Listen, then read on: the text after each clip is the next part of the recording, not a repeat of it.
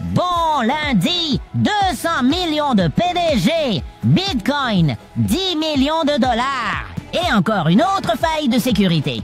Tout cela et plus encore dans l'épisode d'aujourd'hui de Hamster News. Eh bien, nous ne pouvons pas croire que cela se passe, mais c'est vrai, pour de vrai. Hamster Combat compte maintenant 200 millions d'utilisateurs. 200 millions de PDG, les gars. Salut Merci à chacun d'entre vous de faire partie de notre famille de hamsters. Jusqu'à la Lune Michael Saylor, le cofondateur et président exécutif de MicroStrategy, continue d'être l'un des plus grands, les partisans de la crypto. Dans un podcast récent, il a dit qu'il croyait que toute la nation de Chine nous soutiendrons Bitcoin et l'économie était de la pseudo-science avant Satoshi Nakamoto et après. De plus, il dit que Bitcoin atteindra 10 millions de dollars. Le prix du Bitcoin va monter jusqu'à 10 000 de dollars.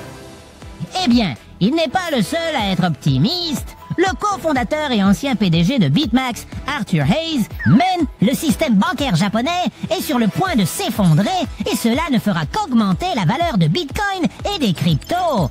Alors, achetez le fonds indiciel, a-t-il dit dans son blog. As-tu entendu parler d'une émission de télé-réalité commerciale appelée Shark Tank où des startups présentent leurs idées à des investisseurs? Pokémon Blague sur un jour de neige. Mon Dieu, j'en ai fini Eh bien, la crypto a sa propre version. Voici les whales. J'ai plus de 5 millions de dollars aux utilisateurs, c'est correct. Je serais idiot de ne pas changer.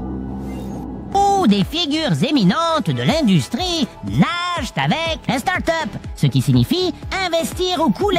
Et le tournage de la saison 2 a officiellement commencé. Un gestionnaire de portefeuille de crypto-monnaies, CoinStocks, a subi une faille de sécurité le 22 juin. Activité utilisateur temporairement suspendue. 1590 portefeuilles crypto ont été affectés. Mais la société dit que l'attaque a été atténuée. C'est tout pour aujourd'hui. Merci de regarder. Abonnez-vous et souvenez-vous, les hamsters sont la puissance. Un pour tous et tous pour un. À demain